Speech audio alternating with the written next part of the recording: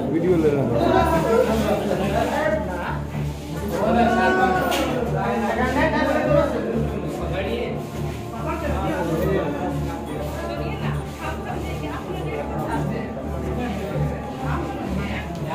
भोजपुर जिला में लगातार बढ़ रही अपराध के बाद पुलिस के द्वारा अपराधियों पर दबिश बनाने की तमाम कोशिश की गई, जिसके बाद भी अपराधी पुलिस के लिए रोज़ाना चुनौती बन रहे हैं।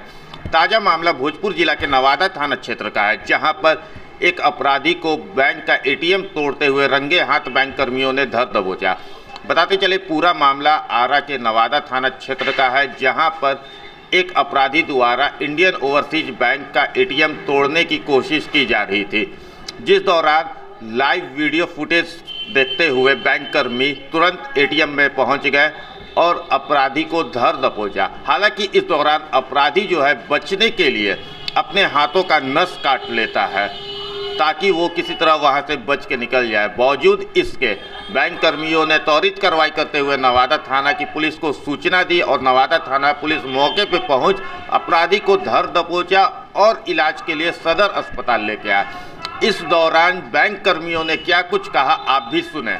जो शटर रहता है उसको तोड़ने की कोशिश कर रहा था। मैंने अंदर वाला मशीन अंदर वाले मशीन जहाँ से हम लोग वॉल्ट रहता है वहाँ कैश में एंट्री करते हैं। तो हम लोगों ने नज़र पड़ा तो हमने अपना जैसे पूछताछ करने के दौरान हमने इन्फॉर्म कर दिया अपने नवा थाना को। तो उसी बीच में ये बंदा अनकंट्रोल हो गया अपना नस काट लिया। क्या चीज़ ब्लेड से। तो हमने इन्फॉर्म किया तब तक नवा थाना आया फिर पूछताछ हो रही है। अच्छा ये मामला पूरा ये एटीएम तोड़ने का ही है।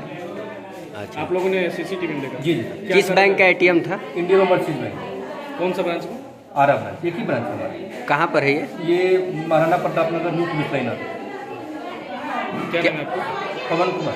क्या है आप? सहायक प्रबंधक। उसी बैंक में? हाँ जी। कि किस तरह से बैंक कर्मी ने बताया कि ये जो अपराधी है एटीएम का वो हिस्सा तोड़ने की कोशिश कर रहा था जहाँ से बैंक के कर्मी एटीएम में पैसा डालते हैं।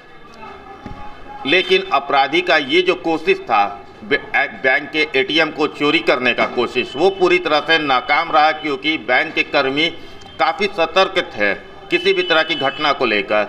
और लाइव सीसीटीवी फुटेज के आधार पर बैंक कर्मी तुरंत एटीएम पहुँच गए और ये अपराधी धर दबोचा गया। फ़िलहाल जो गिरफ़्तार अपराधी है, उसका आरा सदर अस्पताल में इलाज चल रहा है और बैंक कर्मी के बयान पर प्राथमिकी दर्ज कर ली गई है और आगे की कार्रवाई की जा रही है।